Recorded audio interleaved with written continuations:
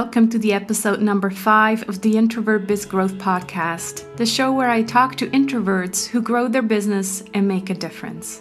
I'm Sarah Santacroce and thrilled that you're spending this time with me today. Today, I'm excited to have my first male guest. Yes, of course, there's such thing as male introverted business owners as well. And Ian tells me that he's definitely an introvert. Ian Brodie helps consultants and coaches to attract and win more clients. He's been named as one of the top 50 global thought leaders in marketing and sales, and his website has been named as one of the resources of the decade for professional services marketing. He's also the author of the Amazon number one bestseller, Email Persuasion. He describes himself as the world's least natural salesperson, and it's because he found selling so uncomfortable that he found ways of making it easier and more natural for himself and teaches those methods to others like him.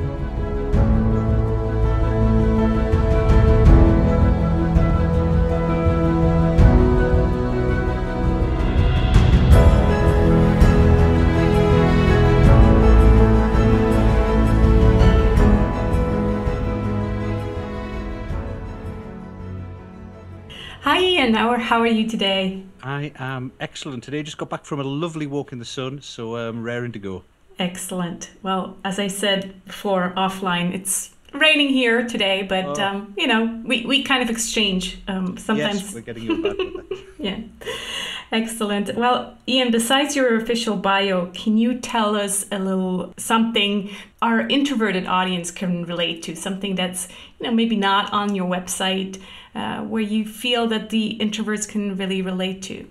Well, I guess I think it's kind of my, my background. You know, these days I work in marketing and, uh, and and sales, and that feels like a very extrovert topic. But my background is I did a, a degree in mathematics, um, and then I went on to work in um, technology in IT. I actually worked in R and D, um, kind of in the background, um, teaching computers how to fix themselves, which sounds all a bit bit spooky, really, but it's about kind of diagnosing their own problems and figuring out what the, the right solution might be, etc. And I spent about six or seven years doing that. Um, and that was really my background, just working on computery type stuff. And, um, you know, I, I, still enjoy that. I still, but I got a, lot from just working with technology and computers because it didn't really involve much talking to people, to be frank. yeah, it sounds very geeky. it was very geeky. That was my background. Now, I ended up being a project manager um, for the you know kind of getting promoted, becoming a project manager, and then running a little team. Um, and for that, I ended up that my company sponsored me to go on an MBA and learn kind of business schools, and they wanted me to become a better manager. Um, but what I discovered, partly through the the MBA and partly through my later experiences in consulting, was I do I don't really enjoy being a manager. Um, I, I, get my enjoyment from the work itself um, rather than from managing other people who are doing the work. Uh, so I ended up through the MBA discovering marketing, discovering business strategy, really enjoying that, and kind of switching careers to consulting as a result. Um, but then it was it was a kind of like a massive shock for me because when I'd been working in R and D for the technology company, you know, all the computers were sold by other people. Hmm. Um, you know, I was just in the background programming things and, and, and coming up with ideas. And it was other people who went out and, and sold the computers and things like that. Whereas, of course, when you're in consulting, yes, some of the work is actually quite technical. You look at spreadsheets, you do analysis of industry trends and all that kind of stuff. But as you get more and more senior, um, if you want to to work on interesting projects and get promoted, you actually have to talk to clients and uh, and sell projects.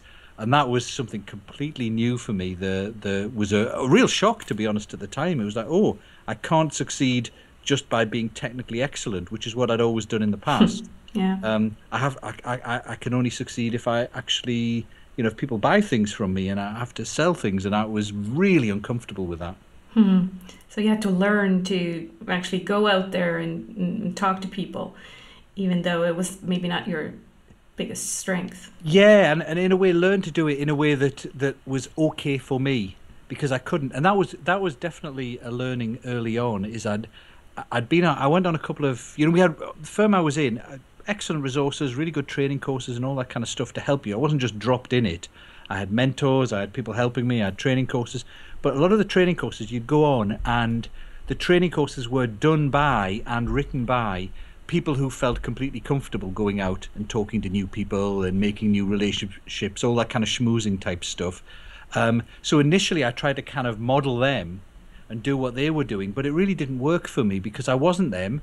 I didn't feel comfortable doing the things they did, and so and the people I was learning from were kind of you know I was kind of in my 30s at the time, and they were in their 50s. They each you know the guy teaching the first course I went on about building executive relationships had been the managing director of a multi-million dollar business, so he was kind of sitting across the the table from clients at a peer-to-peer level.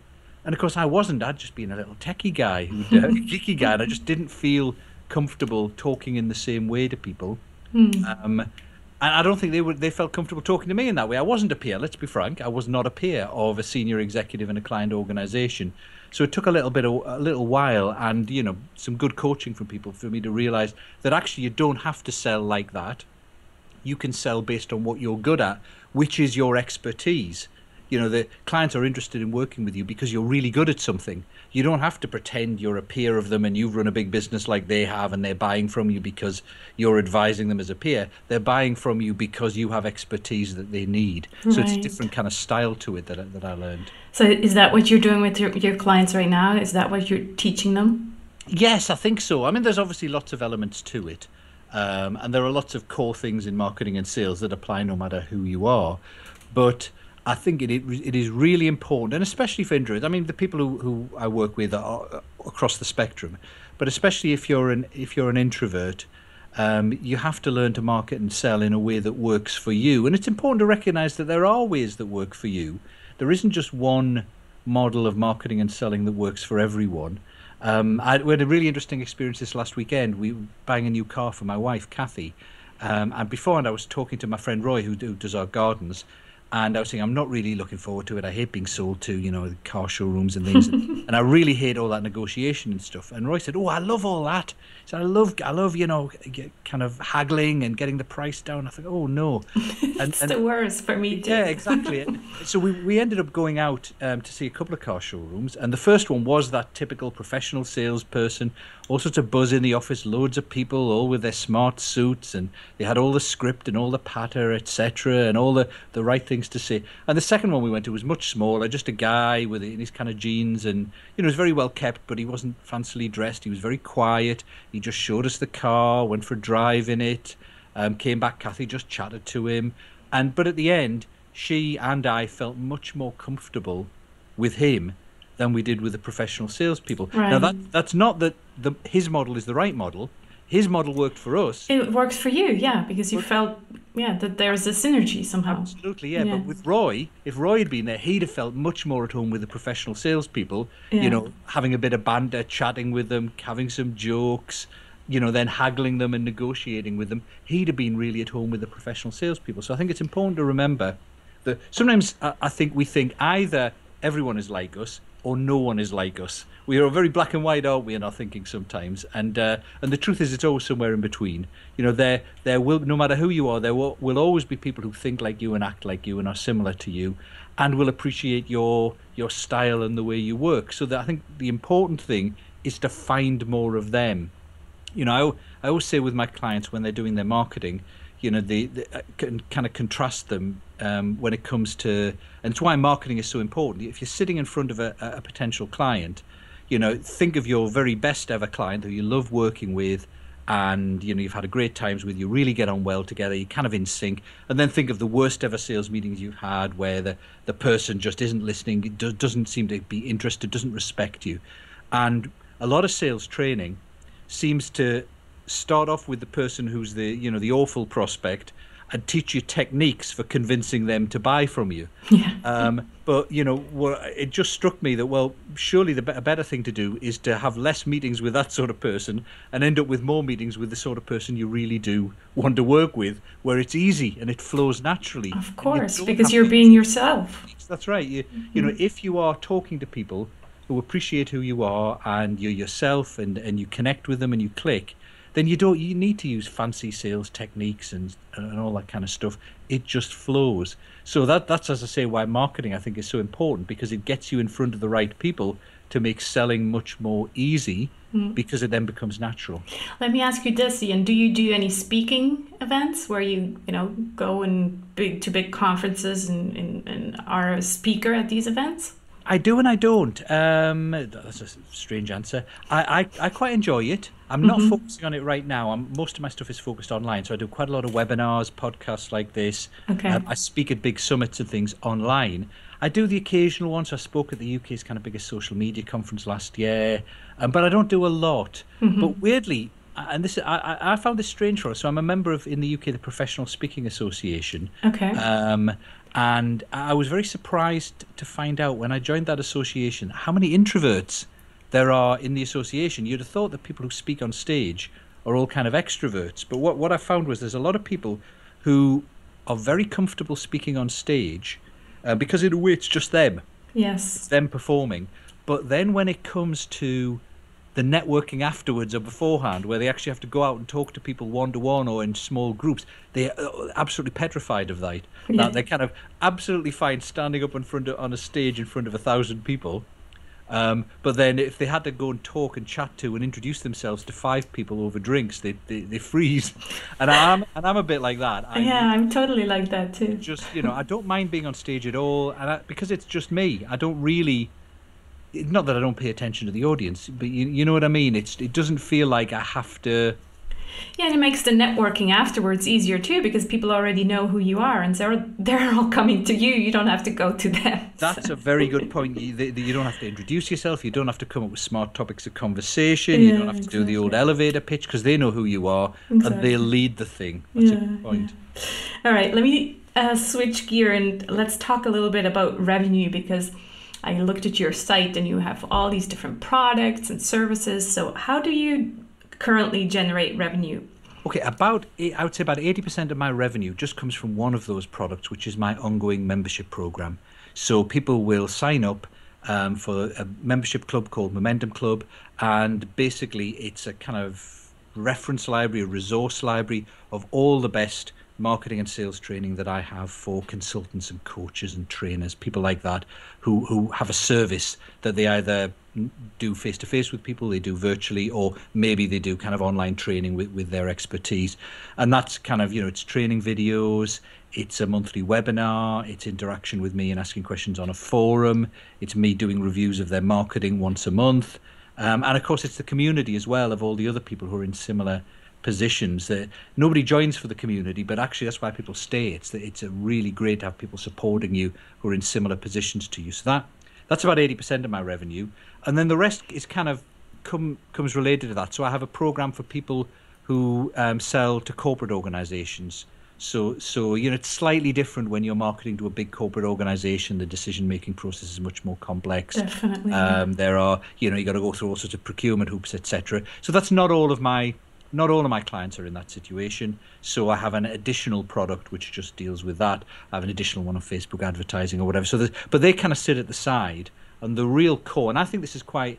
I don't know how many people listening run their own business or, or, or solo professionals, but I think when you're doing your own thing and there's just you, I think it's really quite important to to keep it simple. Mm-hmm. Um, and in my case, about as I say, about eighty percent comes from this one product which means I, am not having to constantly um, create new things every time. I'm not in constant launch mode of here's a new great thing, everybody buy this, then here's another great thing, everybody buy this. It's just the one thing that I, I steer people towards. You know, if you want to learn how to market and sell successfully as a consultant or a coach or a trainer, this will do it for you. Um, and uh, so so go down that route. And it keeps it keeps it simple for me. I think that's a very good point because a, a lot of business owners are so overwhelmed because they feel like they have to do you know constant launches and constant new products and, and, and everything. And it, and it gets really overwhelming where what you found is is this membership program where yes you probably add new content all the time. Yeah. But it's in the same kind of shell, you know, you don't That's have to right. relaunch it. And I'm not launching all the time, which, yes. which I think, you know, and you see all these stories of people making millions from their launches, etc. But most of the people I speak to who do launches don't make don't make millions. Um, and it, it, it becomes very up and down for them. You know, you've got to do another one, then you've got to do another one. Whereas, you know, with the evergreen model, it takes longer to get established. So when I was building the membership program, you know, I started with two members, and two members doesn't pay the bills really. No, yeah. ninety-seven dollars a month. Yeah. So um, it was a lot of work to create all the content and to keep it going. Um, and so I, I obviously had to do other things. I was doing coaching, I was doing live training and stuff like that while I was building the membership program. But the membership program grew nicely over you know over a couple of years. And you know, once you hit 100 people in the membership program, all of a sudden, you don't need to do all the other things and it becomes a steady stream of income and yes sure you get some new members every month and you lose a couple of members maybe every month but it's fairly consistent Mm-hmm. um, and it means you don't have to you know wake up at the start of every month thinking oh my word where's my money going to come from this month Yeah, no, that's very that's very scary. Every month you Yeah. don't know, you know, are you going to pay the bills or not? But I also like, you know, your honesty that you're you are saying that it took some time Oh, yeah. uh, to build this because you know sometimes we only hear the tip of the iceberg of, of people's stories and like they made millions and, and from their launches. But yeah maybe they had 10 other launches before that that didn't make them millions or didn't even make them a buck. So i think it's important to to realize that all the success stories that we hear out there well they're usually based on many failures or not failures but many tries you know yeah and of course we, what we don't hear is that people who've done exactly the same thing but never got anywhere yeah um, you know, they're, they're the kind of survivor syndrome in uh, Yeah. survival bias that you don't hear the stories of the people who just go out of business, have to get a job and stuff like that. So Yeah. you can't just listen to the success stories, um, or you can, but um, you know, I'm, I'm relatively conservative in terms of taking risks in business, and I like to do things a little bit of it at a time. And so, you know, I can do a launch now because I have the membership program going. So if I did a launch and it didn't work, you know, I'd still be able to pay the mortgage. I thankfully I don't have a mortgage anymore, but you know, I'd still be able to pay the bills um, next month um, because of the membership program. So I think it's important to establish a stable income first and then build from there. I really don't like this. You hear it so many times. People saying, you know, oh, you know, you really have to go big to make it make a success, and then you know, borrow all sorts of money on your credit cards to buy this program. To and it's like, oh no, don't. You know, look after your family first and make sure you can pay the bills next month. And you know, I always tell people who are thinking. As soon as I get people emailing me and saying, look, you know, money's really tight at the minute. Um, you know, 97 a month is quite a lot for us. You know, do you think it's worth it? And the answer is, for, I always go back to no. If you know, if if you can't afford the 97 a month comfortably, then use all the free material I give away, um, and and get get your business going with that, or you know, stick at your job a bit longer and earn a, and you know, build a little nest egg, um, so you you have got the comfort that when you you know like when I quit my job, we had six months of kind of nest egg to live to live on, setting up our own business, so that you knew you didn't have to because it puts tremendous pressure on people knowing that they have to do something amazing just to pay the bills next month. I, I don't mm. think, and again, there are loads of stories of people of people who went into tremendous debt.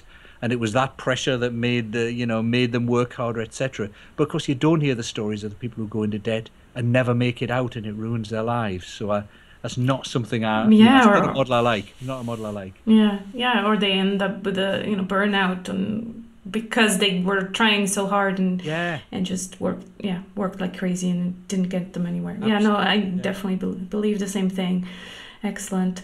Um, let's talk about your superpowers, introverted superpowers. I like to call them uh, until I find a better name because I'm Oh no, that's a good name. it's a good name. I'm not a big superhero fan, but anyway, that's the best I could come up with so far. So, what do you think? Um, what would you say is your biggest stre- strength in terms of um, being an introverted entrepreneur? I would say it's probably obsession. Obsession. in, in the sense of if I get interested in something, I will, you know, I'm a bit older now, but I used to stay up for 48 hours with no sleep, just following up on that one thing. You know, in fact, I remember when I was doing consulting work and we had a big client workshop the next day. Um, and we were struggling for ideas or whatever, and we, we had some good stuff to, to do with them but I was sure there was a you know a breakthrough we could have if we just thought things through differently. And I remember about seven o'clock in the evening before, suddenly the idea happened, and I thought, oh, if we just look at it this way, and then once I'd had that idea, I could not do anything but work on it. So I, I, just followed up on that idea, kept thinking it through, drawing models. I stayed up all night, all the next day. So I just worked through 48 hours, um, you know, just just continue working on that thing because I was obsessed with that idea. Now I'm a bit older now, and I don't quite do the silly not sleeping stuff so much. But if I am really interested in something, I can devote tremendous energy into researching every last little piece of information there's ever been on it, testing it out to the nth degree, and really getting into it. Not you know, not doing it superficially. Yeah, and I think that's a re- mm-hmm. absolutely. And it, it, you know, I know some people like like everyone. I get bored with things and move on, but uh, it, it's kind of once I am interested in something, I really go deep into it, and I think that that makes it really helpful. For example, for my clients who are in the membership program, they know that if I'm teaching them something, I will have absolutely thoroughly and completely done it myself. Um, you know, interviewed or spoken to lots of people who are doing it, so it's not a superficial treatment. Um, and I, I, think that does come a little bit from being an introvert because I'm very, very happy, um, happiest, you know, just sitting at my computer researching stuff, reading a book, and going through all the details on something. I don't need to reach out and talk to people and keep entertained or anything like that. Right. The learning process itself for me is the entertainment and the joy of just going deep into something.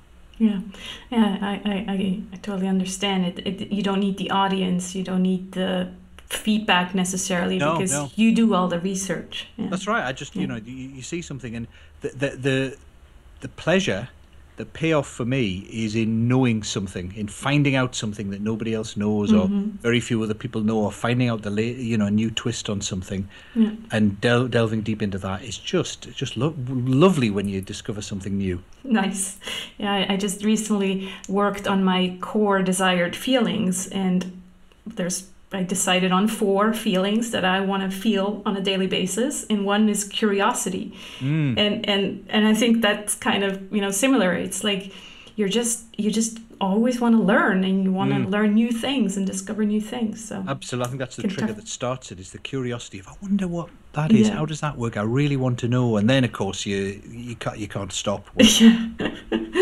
yeah, excellent. What about the um, not a weakness, but let's call it a challenge? Uh, as an introverted entrepreneur?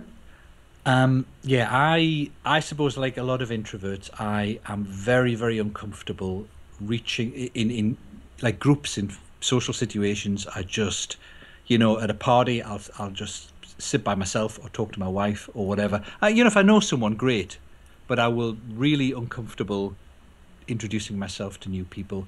You know, I, and the same happens for networking and stuff like that. And I, I've I've been on the training. I've forced myself to do it in the past, but it but it's not something I enjoy doing. I don't really enjoy phone calls either. I don't. I keep I keep getting. It's great if it's a podcast or something like this where we can talk about some real kind of content. But you know, I'll get I'll get people say, you know, email me and say, you know, hi, know, I've had this idea. Do you, do you, can we get on the phone for ten minutes just to chat? I go. Oh, can't you just email it to me? I'm much better just yeah. responding on email. I don't want to get on the phone and talk to people. And, yeah, it's funny because even on the phone you don't have to see each other, but for me it's the same thing. I don't. I'd rather just you know send a quick email. Yeah, no, I just, and people don't understand it. It's like for them because they're not like that. I mean, I remember I got invited to kind of talk on a summit um, a while ago, and I felt really bad because the, the lady emailed me said, "I'm thinking of doing this summit on this topic," um, and I, uh, you know, would you be interested? And I emailed back and said. Uh, yeah, but tell me a little bit more about what you know. What do you mean by the topic? Because it could could mean a couple of different things. And she kind of emailed back said, "Oh, let's just jump on a call for ten minutes. I'll explain." and I went, "Oh no, please no. Uh, just, can you um, just say it in the email?" And she we went backwards and forwards. Oh well, it would be really much easier for me to explain. And I said, "But yeah, but I don't like. I feel uncomfortable on phone calls. I worry that people are trying to sell stuff to me. That." and I'll say yes. That's because I, I don't like to yeah. I, don't like to say no to people. So I prefer not to put myself in that situation. So, yeah. and that obviously help doesn't help as an entrepreneur because, I mean, I have found ways of marketing and selling where I don't need to do that. But I do know that sometimes it would just be easier if I got on the phone or if I went out and met people. And you know that would save a lot of faffing around. But but I, I but I don't enjoy it. So um, I mean again I think you can it's a weakness. Some things would be easier for me if I could do that comfortably, but I guess I'm lucky enough that I don't have to do that. Yeah, and that's why you built an online business as well because yes. you don't want to go and you know meet everybody at the local bar and you know chat over beers or whatever. Absolutely, absolutely, because, uh, and it uh, does yeah. it does I, I, you know, I sometimes chat with, yeah, get involved in a conversation on Facebook or whatever, and you'll see people, especially in the speaking world, where people say, oh, because lot, there are the, quite a few people who, who extroverts as well, and the, you know, oh, the absolute best way of winning business, you know, the 90% of my business came from my network and going out and talking to people and having a chat over coffee, and that's the way. And I just keep thinking, oh, I can't think of anything more horrific. Yeah, yeah, yeah, no, same for I'm me. I'm really glad my, my business doesn't work that way. Yeah. Cool. Yeah, I'm sure a, lot of uh, introverts can relate to that.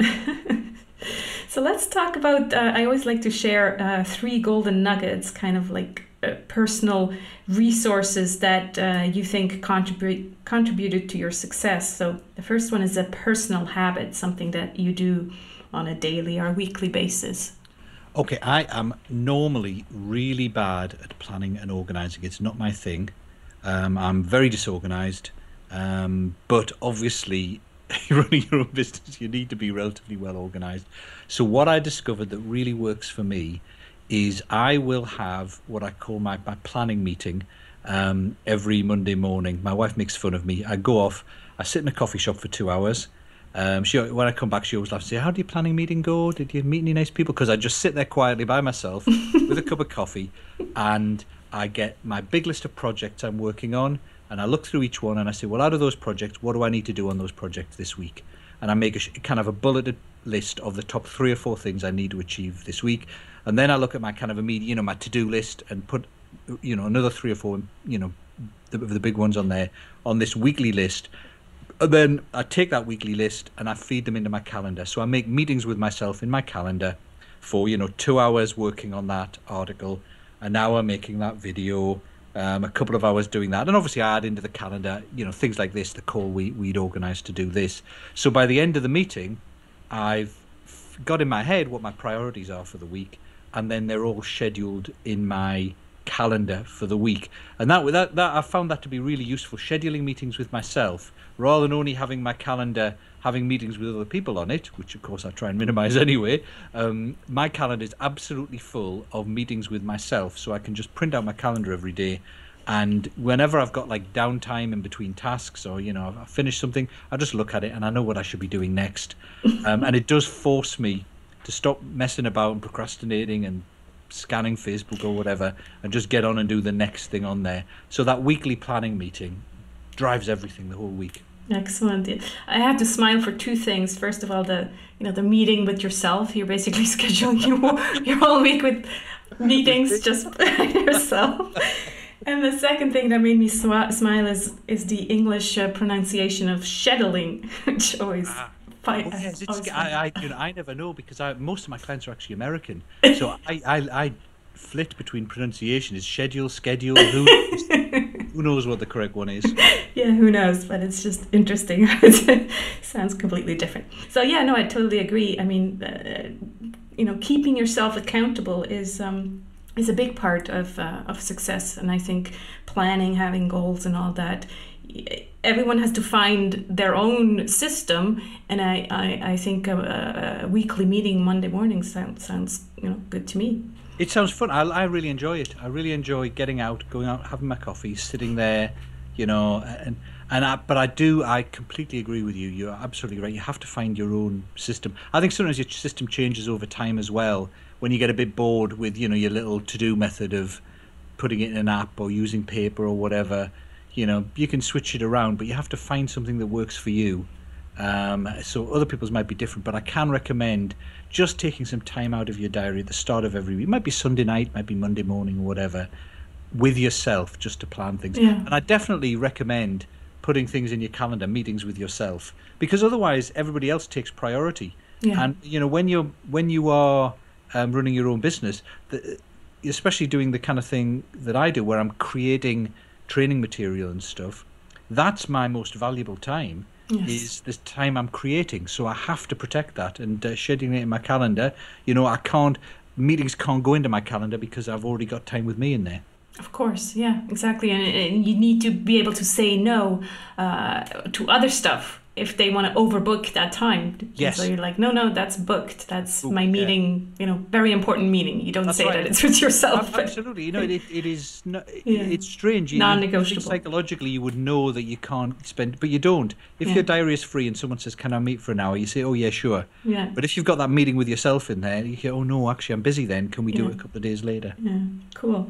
What about an internet resource or an app or something that you'd like to share? Okay, I've got two things. Um, one one that I use quite a lot is Snagit, um, or the, there's a free version called Jing. Um, it's from TechSmith, I think, um, and basically it's just a little thing that sits on your desktop, and you, it just lets you record either screenshots or videos, so you can video what's going on on your screen, and you obviously you can talk over into the microphone into it. Um, and, and, the nice thing about it, it, it, it, lets you upload it to their servers for free, so you can and automatically creates a link to it, so you can then share that with people.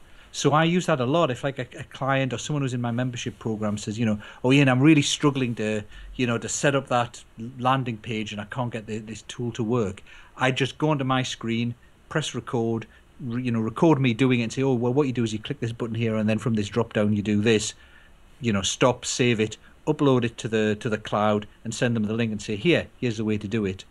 Yeah. um, and that just works brilliantly. And they, it feels very personal as well. Because it's me chatting into it um, I don't have to talk to them but uh, but I'm but it feels like I'm talking to them because I'm chatting into the screen. Right. um, and, and, there you go. So it re- it really is lovely for people. And Jing, as I say Jing is the free version. I think it lets you record about five minutes.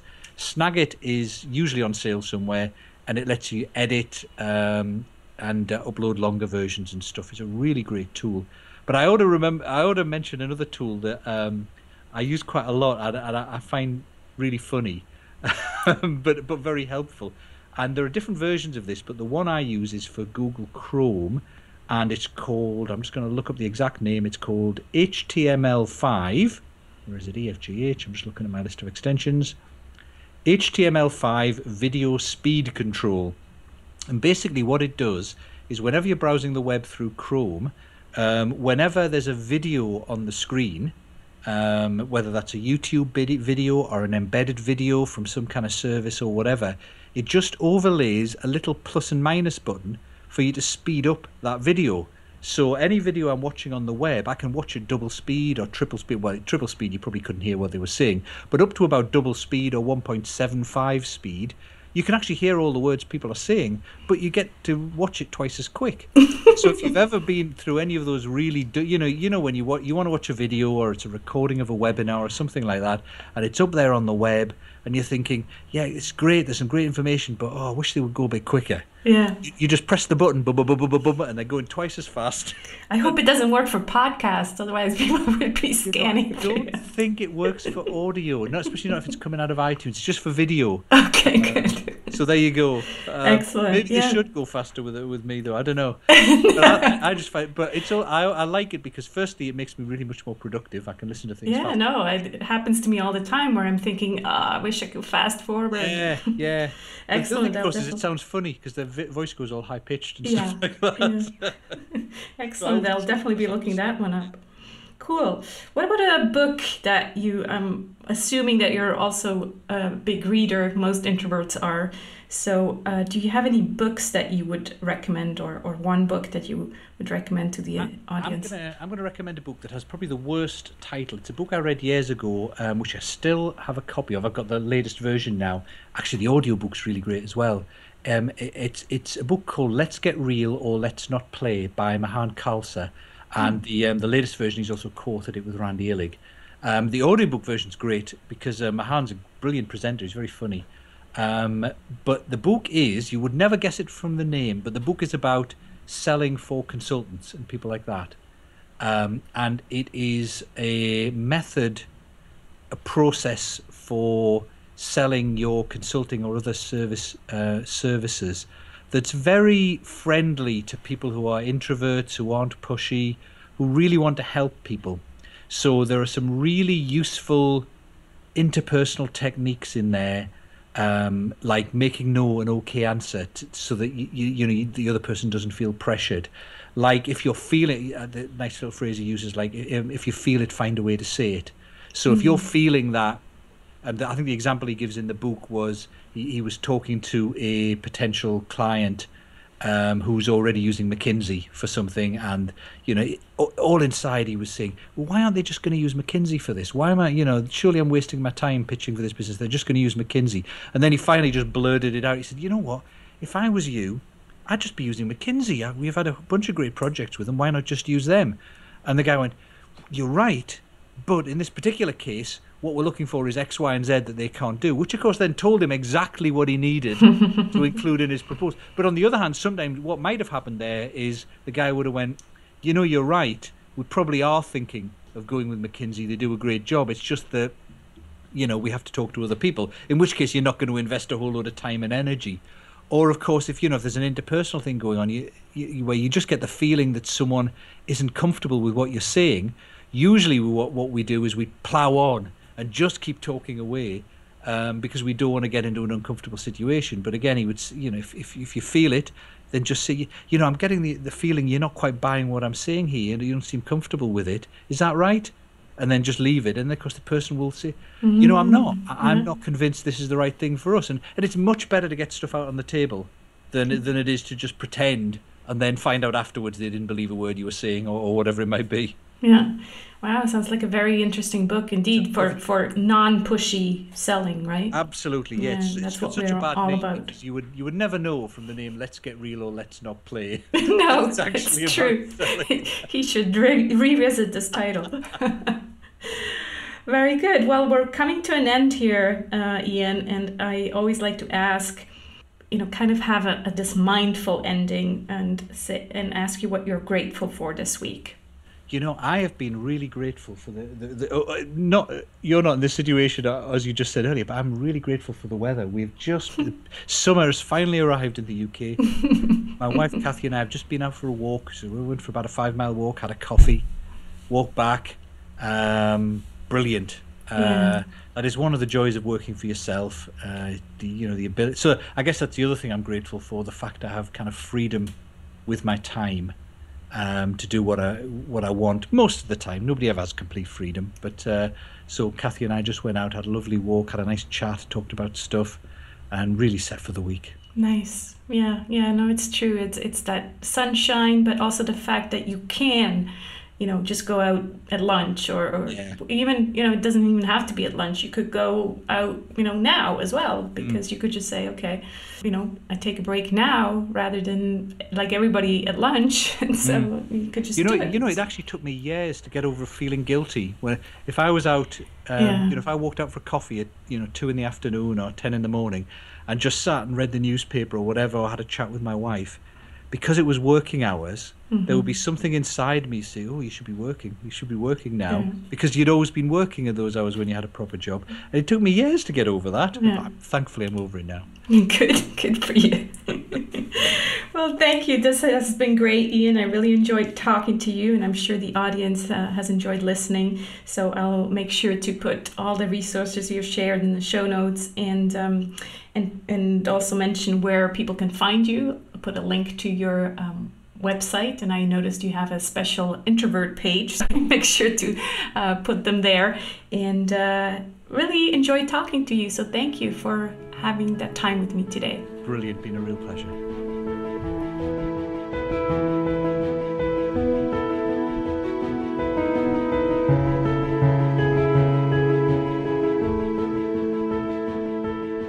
find Ian on his website at ianbrodie.com or on Facebook.